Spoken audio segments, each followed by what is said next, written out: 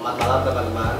Terima kasih ya sudah datang ke bioskop 56 di Mes 56. Malam ini kita akan eh, ada tiga film pendek sebenarnya dari teman-teman Piring Piring sebuah kolektif eh, yang ada di Jogja, kolektif yang aktivis film juga yang ya produksi film juga ya sangat beririsan erat dengan dunia perfilman.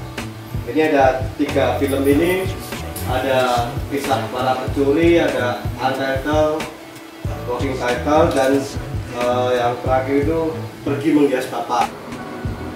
Kalau mau bisa dibawa